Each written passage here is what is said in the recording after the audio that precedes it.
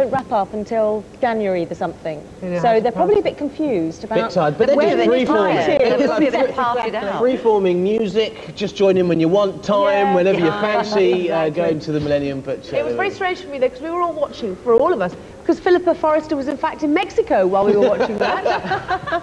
Did you enjoy Very it? nice it was too. It was so warm and there was some music and I was swaying. It was great. now, to bring you more of the medical breakthroughs of the 20th century, a little glimpse into the future again. Those have allowed us to live longer and more healthy lives than at any other time in history. And scientists now believe medical advances in the next century will be so significant that many millennium babies, and we've seen lots of those tonight, should have a reasonable chance of seeing in the new year of 2100.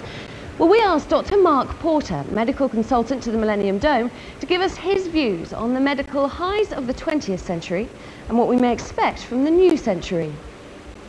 I suppose the 1920s were the big heyday for me. Um, the discovery of insulin. Until then, there was no treatment for serious diabetes at all. It was a terrible condition.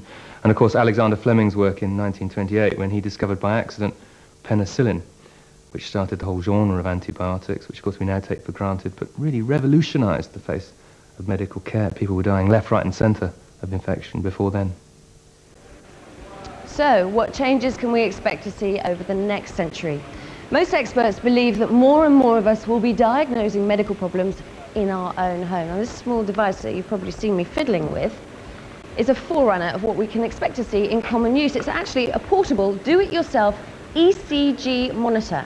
Now, if you've got a heart problem that never seems to happen when the doctor's nearby, you can take this home, you wear it. If you feel changes in your heart rate, you simply press a little button on the side and it digitally records the rhythm of your heart onto this disc, which you then pop into your PC and email straight to your GP, who can then track your health remotely.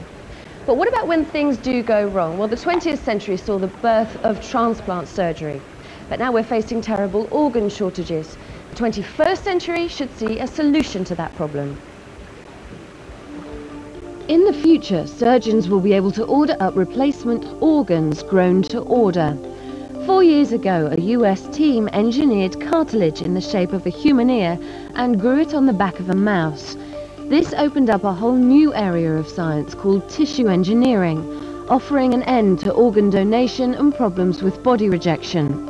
Today, labs grow an assortment of body parts, including skin, blood vessels, and even bone. In the next century, organ farms will grow a range of complex body parts such as kidneys, livers, even hearts.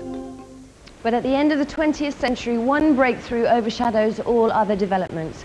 Scientists are now well on the way to cracking our entire genetic code, which will open up a whole new era in medicine. Teams in the UK and US are now mapping out our entire genetic makeup.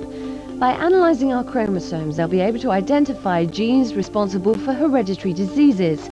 In the 21st century, genetic testing and gene manipulation won't just be about treatment and cure, it will be about prediction and prevention. The good side of advances in genetic technology is that we might soon have the answer to conditions that we've not been able to, to do anything about. I'm thinking of things like cancer and inherited conditions like muscular dystrophy and cystic fibrosis.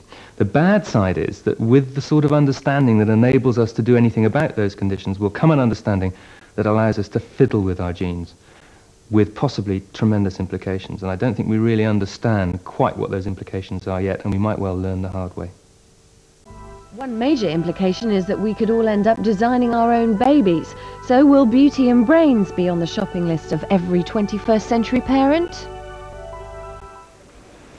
Well, on Wednesday's Tomorrow's World, we asked you whether you want to see a world in which designer baby technology was allowed in certain circumstances, or whether you think it's safer to ban the technology altogether. And we have the results tonight. 32% of you said yes to designer babies, but 68% said no. Our poll shows a pretty clear majority feeling that society and parents shouldn't be able to choose children's genes. But it also means that in the future, we've probably got a lot of thinking to do and a lot of difficult decisions to make, I think. Team? But Aisha, I'm really surprised by those results. You're surprised? Yes, I, yes, I am. Why? Because on City Hospital, we met a lot of people who did have problems, and that meant they couldn't have children. And they were looking to the future and praying that one day they could. So I was actually quite surprised. I think the fear is that it could get out of control and you could end up choosing the brainiest No. baby, blue eyes, blonde hair. Absolutely. I think that's the fear amongst the public. Certainly, I, it's a fear I have, that it could all just get out of control.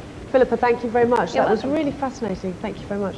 now, the world may have stopped for a moment last night, but time marched